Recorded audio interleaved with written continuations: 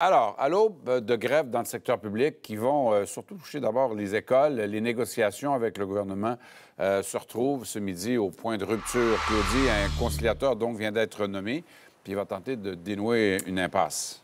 Oui, et c'est à la demande euh, des syndicats qui sont représentés par le Front commun. La demande a été faite la semaine dernière. Elle a été acceptée par le gouvernement.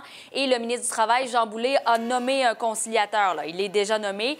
L'idée d'un conciliateur, Michel, c'est vraiment de mettre une tierce personne, une tierce partie qui est plus neutre et qui tente de dénouer l'impasse, vous l'avez dit. En ce moment, ça négocie très peu. Il y aura des grèves la semaine cette semaine, dont une grève générale illimitée qui doit euh, débuter ce jeudi euh, dans les écoles. Alors, c'est une mesure exceptionnelle parce que visiblement, ça ne négocie pas aux tables. Éric Gingras là-dessus c'est un geste de relation de travail que demandait un conciliateur. Donc, ça a été fait dans cette optique-là, pas dans l'optique de, sortir publiquement, mais bien de faire avancer les choses là où ça doit avancer, à la table de négo et non pas dans des publications Facebook ou euh, sur d'autres médias sociaux. Donc, c'est ça qu'on a demandé pour nous permettre, là, une personne neutre, pour permettre de faire avancer le dossier parce qu'on est très loin. Là arrive des grèves. On l'a toujours dit, la grève, c'est un moyen de faire avancer les choses. Mhm. Il y en existe d'autres.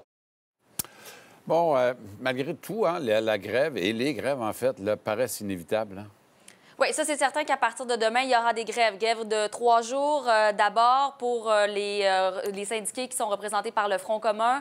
23-24, ce sont les syndiqués de la Fédération interprofessionnelle de la santé. Ça, ça veut dire ralentissement, notamment dans le réseau de la santé. Et à partir du 23, je le disais, 40% des enseignants au Québec seront en grève générale illimitée. Qu'est-ce qui peut dénouer l'impasse? C'est une entente. Or, on sent que les positions sont très loin en ce moment. D'ailleurs, Sonia Lebel, la présidente du Conseil du Trésor, a dit, écoutez, moi, j'accueille favorablement euh, l'arrivée d'un conciliateur, mais je reste ferme sur mes demandes et mes offres. On peut l'écouter.